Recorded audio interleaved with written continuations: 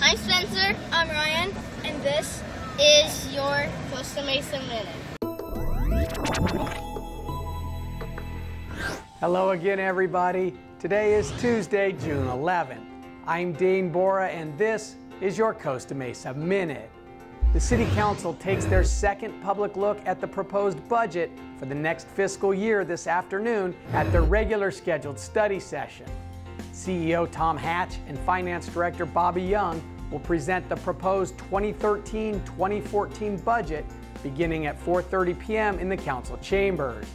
And then at 6 p.m., the council will hold a special joint meeting of the council and the housing authority. On the agenda, proposed modifications to the home buyer assistance program policies, procedures, and guidelines. Watch both meetings live on Costa Mesa TV or online through the city's website.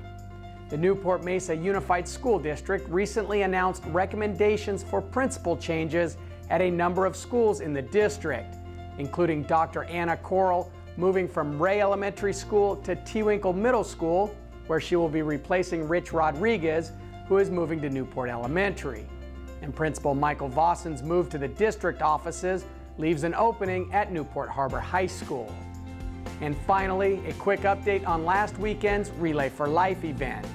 The event has raised nearly $30,000 to date, with more money still coming in.